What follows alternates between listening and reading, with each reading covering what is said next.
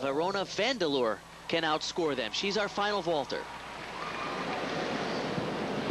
Wow, high vault, the same vault as Zamolochik.